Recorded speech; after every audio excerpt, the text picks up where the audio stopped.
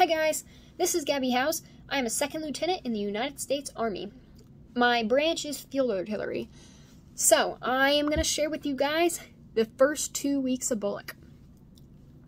BOLC stands for Basic Officer Leadership Course, and it is the starting course that you take right after you commission um, or graduate from college and commission into the United States Army. It's our training course. It teaches us the basics to what we need to know in order to lead and empower soldiers. So, with that being said, today I want to talk about the first two weeks. So, the first week for us is probably going to look different than everybody after us because let's be real, 2020 was a crazy year. And so COVID hit, and COVID has still affected what it looks like here. And so we did go on a 10 day 10 day quarantine. We got checked for COVID twice. Um, we did the na- nasal swab thing. That was not fun, but it wasn't as bad as I thought either. So, hey, take it as it is. Um, but we had 10 days where we were stuck inside our room. The nice thing about that is we got to get set up and kind of settle into Lawton, Oklahoma before we started. Mind you, um, and kind of get a workout plan. Started to think about our workouts and budgeting and stuff like that that you didn't really think about beforehand. Um, but mind you, that's probably not going to be your case, especially if you're the year after, or a year later, or a few years from now. Um, most likely, you're going to just start. So, that first week, like I said, was all in, for us was just quarantining. A couple things I want to hit in this video is I want to talk about some things that might be good to think about before you get here um, and talk about some things that you should probably bring or that I highly suggest you bringing. And then I'll talk about that first week of in processing. So, first and foremost is what are some things that you should probably do before you get here? First and foremost, think about a budget. Start making a budget. Don't waste your money. I'm going to work on spending $30 a week on fun things, like going on adventures. That's I call it my adventure and my food fund. Um, ideally, don't go to a restaurant every week. You can afford it if you really want to, but I would suggest saving your money. Save it, get a car, um, or something else. Don't just buy a car immediately, though. Please don't do that. Wait till you graduate. Um, but save your money for something bigger. I would wait, I would save it, save it, save it, because you're going to need to pay off loans, especially if you're on student loans. Um, so that's the first thing. Think about a budget. Second thing is think about a PT plan. I would already be thinking, what are the things you want to focus on on PT? And if you can, start making a list of workouts um, or a list of exercises that hit certain muscle groups. So then the times you go to the gym, you're not just standing around like, I don't know what I'm doing. Have a plan. Um, find a plan.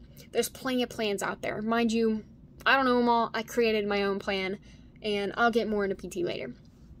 Third thing is, um, yeah, just think about why. Okay, yes, this is another one. Think about why you're there. Why do you want to be a field artillery second lieutenant officer? Why are you in the army? Think about your why. Make a make a what is it? Make a um essay called My Why. It's something we do in education is we talk about the reason why we teach because let's be real, as an educator, you have hard days. Kids make you cry. Kids are rough sometimes. Kids are amazing, but they're also rough. Same goes with soldiers. Same goes with just the military in general. It is a tough world. There are times it's tough. Um, there are times it's amazing and it's awesome and it's rewarding, but there's also times it's tough. You need to know why you're doing it because there are times when you will not want to do it and you will want to give up and you need to go back and think about why am I here? Why is this important?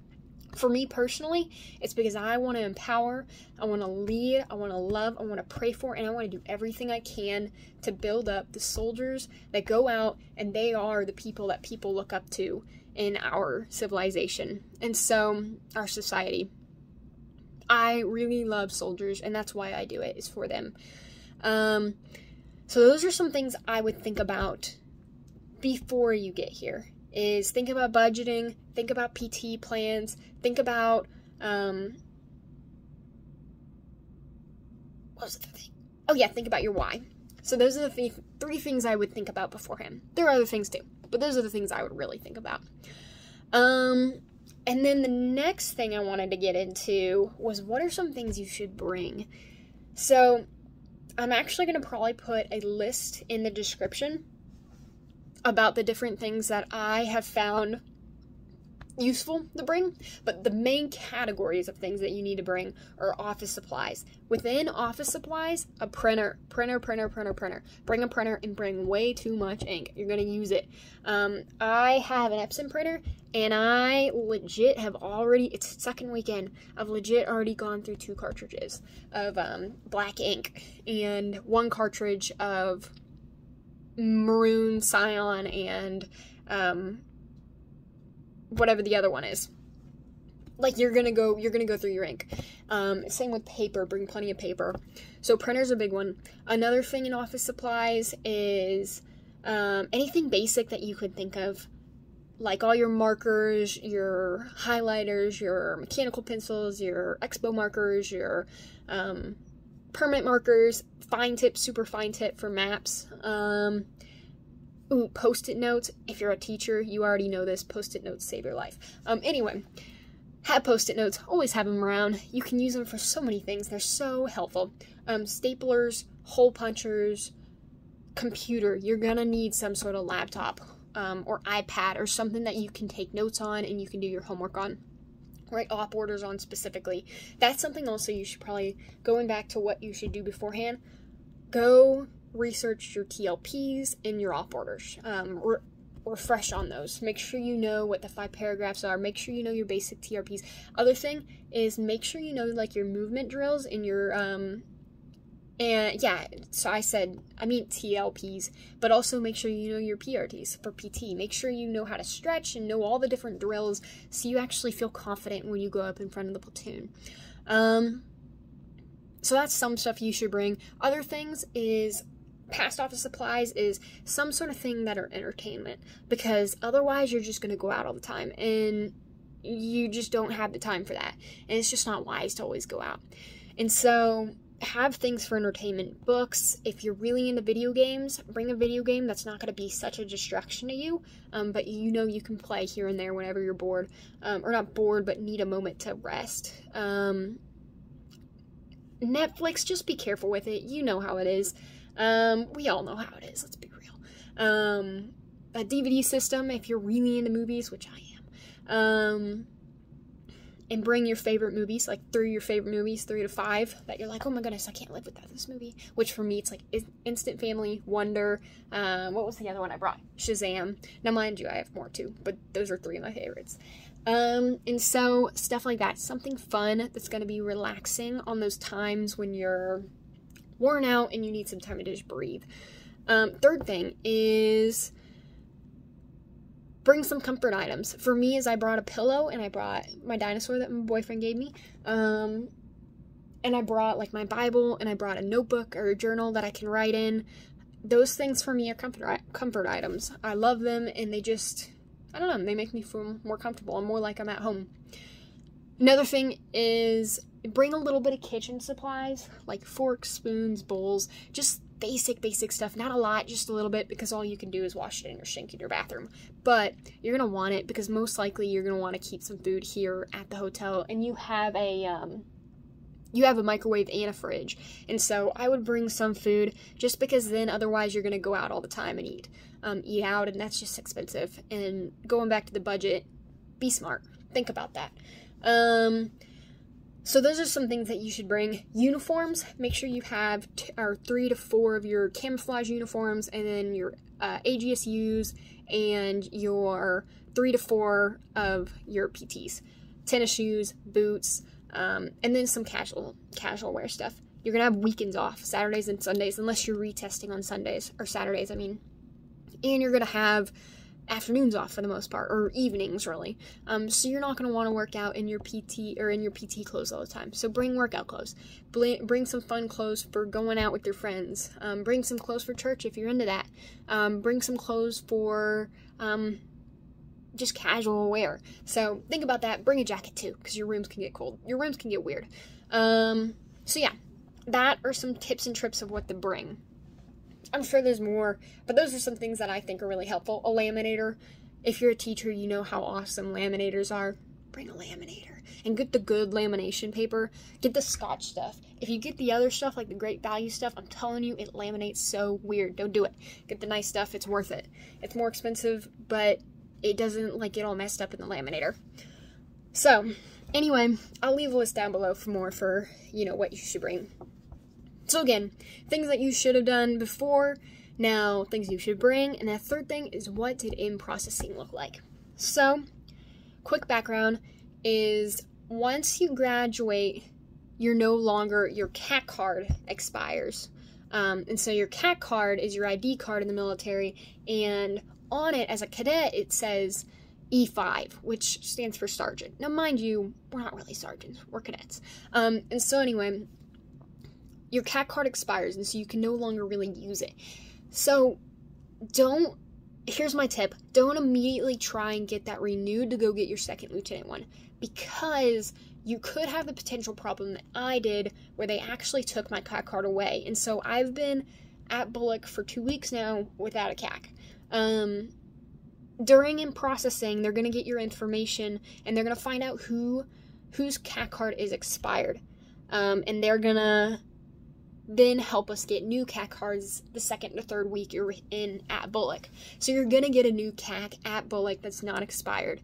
I would wait to try to get your new CAC till you get to BOLC. Don't do it before BOLC because they could take your CAC away. And then that just makes it really hard to get on and off base, and it makes it hard to go to the DFAC, and it makes it hard to go to the gym. Like, just don't do it. You can use your orders, but um, I've had issues, and so just don't do it. Wait till you get to BOLC. They will help you change it, unless your orders say otherwise. Then follow your orders. Your orders are your Bible. Um, so, yes, yeah, so anyway, in processing was this whole week, and we started with doing things like basic paperwork. You're gonna have a lot of paperwork. Don't be intimidated, it's okay. And if you don't have your CAC and you're like, I can't get into anything, or my CAC doesn't work, the registration's out, out don't stress out. They know, um, and they're gonna get you squared away. So don't freak out too badly. Um, another tip is you're probably not going to be paid until 45 up to 45 days sometimes less for us it took two weeks. Um, I just got paid this Friday. I've been here for two weeks though. Um, and so don't freak out if you don't get paid immediately. But that with in mind is you probably want to keep some money aside if you have the ability to. If you don't, it's okay. Go eat at the um, go eat at the DFAC. You can make it two weeks without spending money. Um, just get rides, walk around base, uh, stay on base, and wait till you get paid to start trying to spend money. Um, and even then, go back to budgeting. Budget, budget, budget, budget, budget. It's gonna help you so much. Um. So yeah. Anyway, um, we did paperwork like that. We did a bunch of different paperwork. So you're gonna have to be doing that, and then you're gonna do your medical and your dental. Um, so make sure you have your medical records, especially your shot records. Keep your shot records. Put them in your I Love Me book print them out. Make copies of every sort of document that you get from either ROTC or OCS, um, like all the different DD forms that they give you. Make double copies of them. In fact, you can make a digital copy. Like, make sure you have multiple copies of everything, um, or have a printer where you can print multiple copies because you don't want to ever give them your original copy. Always keep the original. Um, and then yeah, then you go to medical and dental. If you have dental records, keep them. If you don't, and that's how it is. Um, and then that is about all the week held for us. We did a couple classes and talked about op orders. We're gonna have an op order project um, where we're gonna work in a group and we're gonna make a legit op order. Uh, this first weekend, we even had homework this first weekend, and they gave us a fun scenario, and we had to make a um, opera order about it. And um, just don't complain. When it comes to like getting homework that you just think is silly and too much extra work, just have fun with it. Especially, you know, just have fun. Um, play the game. You real you're gonna have to.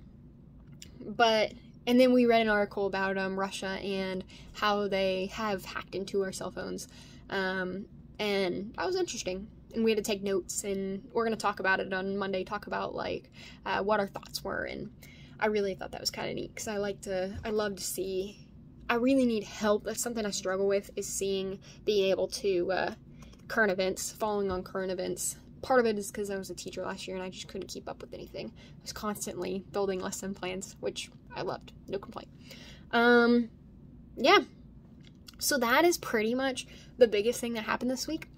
So another thing to think about um, that I would love to tell you guys about is leadership roles. So you're gonna have the opportunity to step into leadership roles. Now here's the deal. They don't really do anything for you other than a pat on the back saying good job and they give you some opportunities to lead. You're not going to really get anything for them. So if it's just going to hinder you from being able to study and you know it's going to be too much, don't take them. Now, mind you, if you can handle it and you want the challenge, go for it. Um, so you're going to have the class leader. What I would suggest, I don't know if this is possible, but I suggest is if you are the class leader, ask for somebody else to be your like um, your first sergeant. Like ask somebody to be a part of helping you. Like get a get a helper. Um, delegate. Delegate, delegate, delegate. You should know that in general, but delegate things. Uh, and then you'll be able to choose. You could be a platoon leader if you want to, or you could be the S1 for the class or for the entire class. Um, or you could be the S1 for your platoon. You could be a squad leader, or you could be the PT officer. I'm the PT officer. Long story short, what that means is I make PT plans for our platoon and we execute them. So, I'm going to give you a little background about what our PT looks like. So, you could use this, you could do some, something totally different, do what you want. Um, how we set it up though is we do cardio on Mondays, but not like four mile runs, like intervals. On Tuesdays, we do ACFT workouts like circuits. Wednesdays, we do squad competitions and we do squad PT. Uh, why we do this is our platoon really, really wanted some ways to do team building. I would really suggest doing some sort of team building just because it's going to build morale. Um, and it could be fun and it could be challenging. Do squad stuff, do like competition stuff. And then we did we do ACFTs on Thursday, ACFT like circuits again, and then we do longer runs on Fridays. So that's how we set it up. I do like this method because you can really play around with the cardio on Mondays and do something unique and fun, especially if you have a running background. Um, and then on Wednesdays, the squat stuff's so fun. The circuits can be a blast on Tuesdays and Thursdays. You don't have to do just ACFT workout like exercises. Look up exercises that complement the ACFT workout exercises and use that stuff too um, and do like six exercises, break your platoon up into groups of four, and then have them like rotate and um, like every minute rotate or something and give them a 30 second break or something. That's what we did the first Tuesday, and it was a lot of fun and it was very challenging. And then on Fridays, doing a longer run, endurance is going to be hard for people, especially if they just they're not runners. And so building endurance is going to be really important. And one thing to help build endurance is sprints. So what you do is you do a longer run and then afterwards you do a number of sprints. Um, sprints and then a jog back, sprint, jog back. Um, and that really build, builds your endurance. So that was a lot of information. That was fire hose, which is what you're going to get when you go to BOLC. Um, so anyway, long story short is I will tell you more as more comes. I'll give you all the tips and tricks. I'll probably miss plenty of things too. If you have questions about anything I've said or you want to know something totally different that I forgot to mention or didn't, didn't mention, um, please put a comment below. Um, yeah. Oh, one more thing I would love to mention is I did get plugged into a church my first Sunday here. I did online church at first because let's be real, COVID. Um, and so I did online church and I found the church Grace Fellowship. So I've been at Grace Fellowship now. This is my third weekend at Grace Fellowship, and it is a excellent church if you need a church to go to. They're very military orientated. Um, they have three different services: one at eight, one at ten, and one at um, eleven thirty. So pick your poison. And then they have life groups. In life groups, you kind of get in contact and you can meet with a little group of people on a certain day, certain time. Um, and so, anyway, if you're looking for a church, I love it. It's been a great church. And I went to a Wednesday life group last week online. Um, it was a Zoom life group, and that was great. That was really fun. And then I went to one on Saturday at 2 p.m and it was a home life group and it was an in-person one and that one was a blast so anyway the life groups are awesome there and then the chaplain typically does things too. And what I love is the chaplain's focus has been on leadership and what it looks like to be a good leader. Um, and lead as a servant leader, lead as Christ um, leads. And what we've done, oh, it's been a blast, which you could steal this idea. But is we do a Bible study, and then at 7 we start a movie. And so we watch a movie, we eat dinner, watch a movie and then after the movie we talk about it and we talk about the leadership attributes and things we've learned from the movie and so anyway that was a blast first night we watched um, Blind Side the next friday we watched um I can't remember what it's called, but it was so good. And it was about like the trial. It's based off a true story, and they it's a military movie, and it's about Code Red, if you know what I'm talking about, put it in the comments. I can't remember what it's called. It's a good something. Anyway, it was so fun to watch and talk about, and I learned so much from it. And so, anyway, those are some suggestions. Those are some tips. Those are some things to think about. Um, remember, the company you keep makes you are you reflect the closest five people that are close to you. Like the, the people you hang out with the most, the five people that you hang out with the most is who you start to become. So keep that in mind. Is who you decide to be, make your best friend and who you decide to stay the closest to. You're going to start to take some of their habits. Um, so be wary of what company you keep. Now, mind you, be kind to everybody. Get to know everybody. They're all super cool. Um, but again, be wise with who you make your best friend and that's just general general tip for life. Um, yeah. Don't get into trouble. Have fun. Go have fun, but don't get into trouble. Find fun things to do that doesn't consist of trouble. Um, show people that there's fun without trouble, because um, there is. So anyway, that's all I got. We went hiking a couple weekends back, and um, that was a blast. We went to Buffalo, the Buffalo Trail. The trails here are so beautiful. Go on the trails. We're gonna go in the river a couple weeks from now and go wakeboarding and stuff, and it's like ten dollars. It's so awesome. Ten dollars an hour. And then the movies are fun. Go out to eat. Oh, ooh, one more thing. Study groups, study groups, study groups. Get plugged into a study group. Like, work together. Even if you're one of those people, I kind of am, where you don't really need to study with the people and you actually study really well on your own go sit with other people and work with them. Like, just get to know your peers. Um, if they are a super big distraction, then go separate. But if you can work with your peers, work your peers, even if you don't need to. It's just good to work with other people. You're going to learn so much doing that. So, anyway, I've talked way too much, and I love you guys, and I hope that you have a fabulous Monday tomorrow, and that is all I got. Keep being amazing. Peace, guys.